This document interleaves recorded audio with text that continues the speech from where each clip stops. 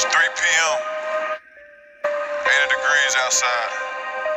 I'm in something to go real fast sitting outside the corner store. Six figure car ain't got no business in this area. If it ain't one thing, it's a motherfucking nutter.